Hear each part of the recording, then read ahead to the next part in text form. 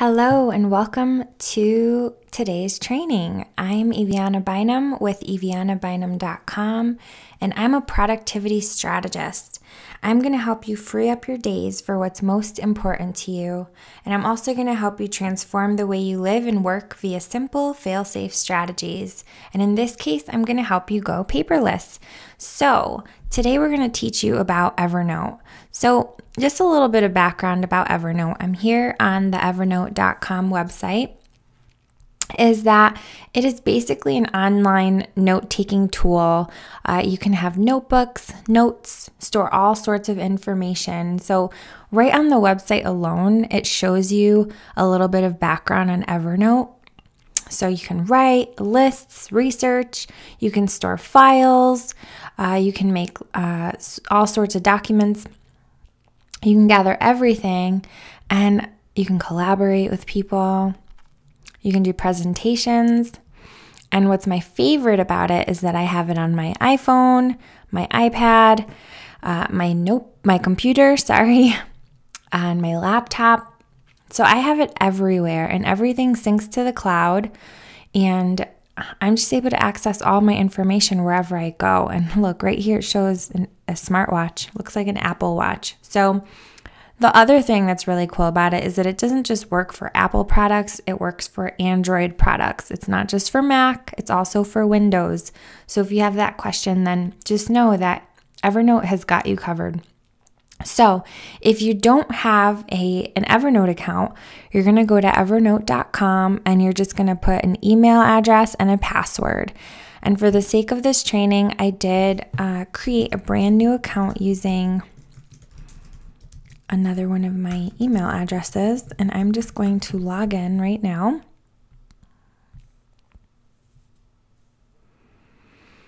And this is what Evernote looks like on the web browser when you first sign up. So, as you can see on the left hand side, you're going to see the plus where you can make a new note. This is where you can search. You can search your notebooks. Here's where you can see your shortcuts. That's a note. You can looks like a little piece of paper, notebooks, and tags. And I'm going to give you a brief overview of what each of those mean.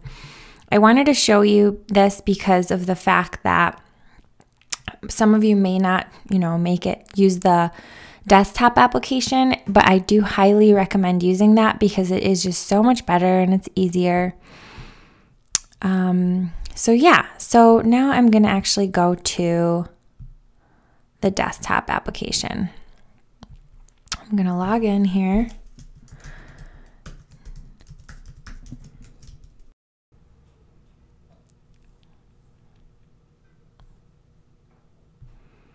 Just going to make it full screen.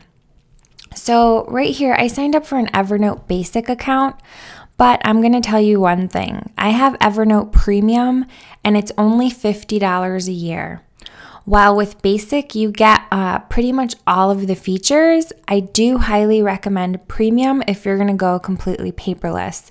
The reason being is that with Evernote Basic, uh, I think you can only upload up to 200 megabytes per month. And with Evernote Premium, I want to say it's about four gigs of data. Um, one to four gigs. Regardless, it's more than what I need. I do not need Evernote Business. Um, but I do highly recommend Evernote Premium.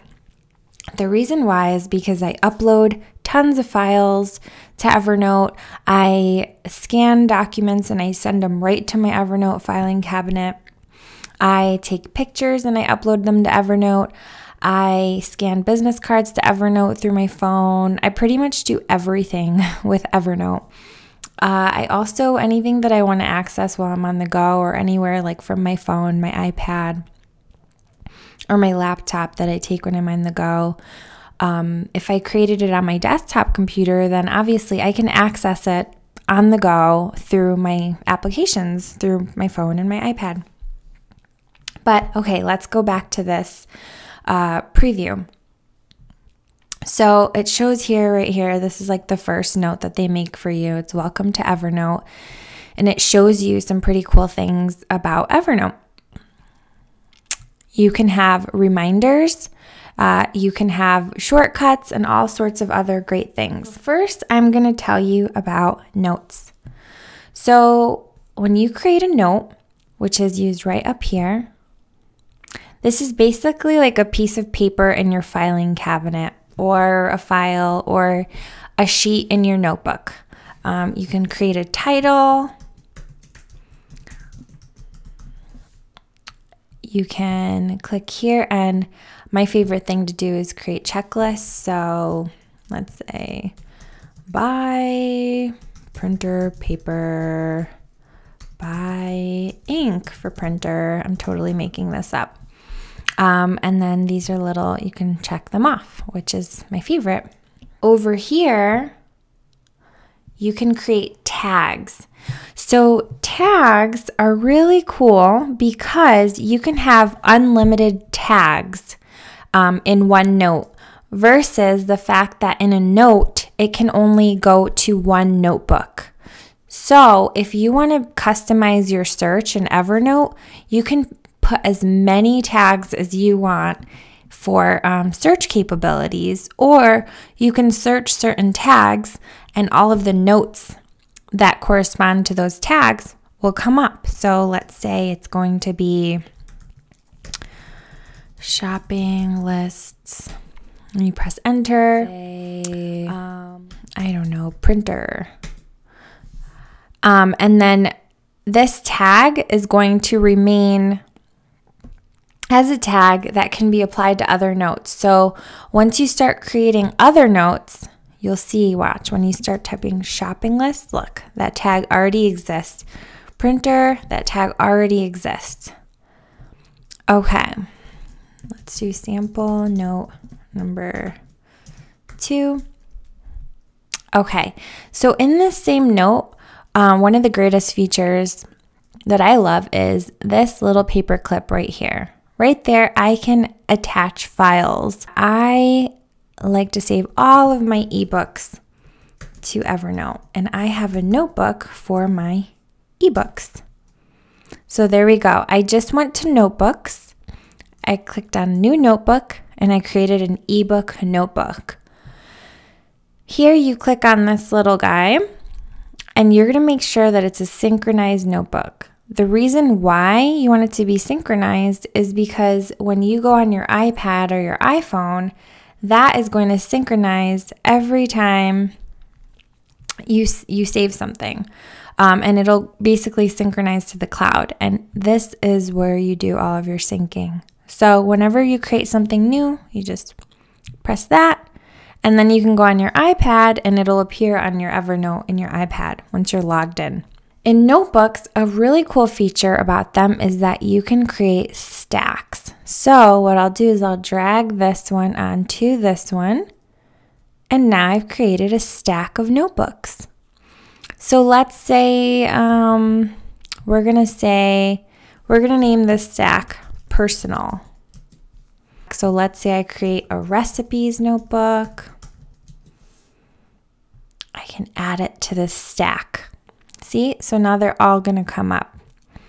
Then I can create, um, so in my personal Evernote, I have a notebook for launching. So in that launching notebook, I have all of the notes that are involved with a current launch or information that helps me to launch uh, products or services or things like that. I also have a notebook for filing cabinet. Ooh.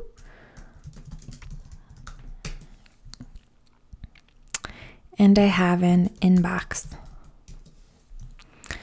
And my inbox notebook, which is what I would suggest for you, is my default notebook. The reason why is like we taught you in the paper cleanse, when you have an inbox, so for example, I have my inbox in my kitchen, all of the papers, so current bills that I just get in the mail or just certain paperwork and, things like that that need to be scanned and uploaded. When my when I upload things using my scanner, I have my scanner set up so that when I scan a paper, I name it and it goes to my inbox.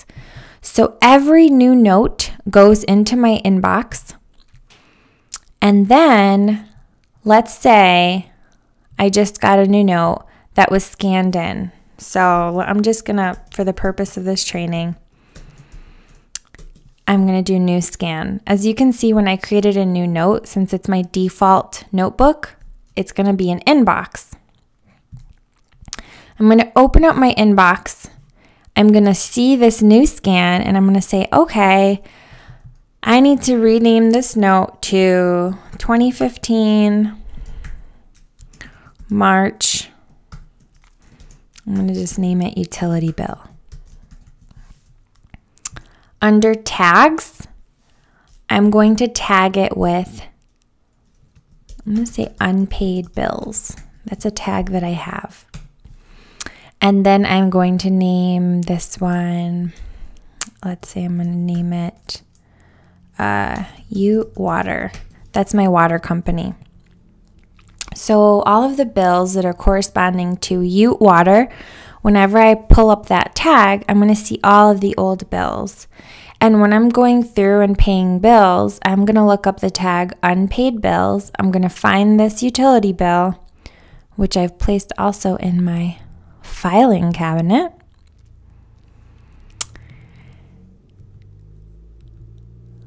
I'm going to pull up this bill and I'm going to go and pay it, and then I'll go and remove this tag because it's paid. So that's one example of how I use my Evernote. Over here, when you go to tags, you can see all of the tags that I currently have. So they're alphabetized. So when I'm looking for a certain tag and maybe I don't remember what I named it, then that's where I'm going to see them. So if I want to make a notebook easily accessible, I'm just going to right click and I'm going to add this notebook to shortcuts. So as you can see, my inbox is in my shortcuts. Let's say I look at my ebooks a lot and I like to have them easily accessible. I can go to ebooks and add this notebook to shortcuts as well. And I'll see all my shortcuts here. Here's you can see I'll see my recent notes, and all those things. Every time before I exit Evernote, I'm going to click on this little guy and I'm going to synchronize my notebooks so that I can easily access them wherever I go. So, guys, I think this is a pretty good getting started guide on Evernote. So, it kind of shows you all of the things that you can do with Evernote just in that. In the future, I will be going a little deeper into how I organize my notes, how I set everything up so that I have a completely paperless business. And I'll be teaching you all the cool tricks and things that you can do with Evernote. I hope this was helpful and I hope this can help you get started with Evernote and starting to scan notes into Evernote and starting your paperless life. So, thank you guys, and I hope you have a wonderful day.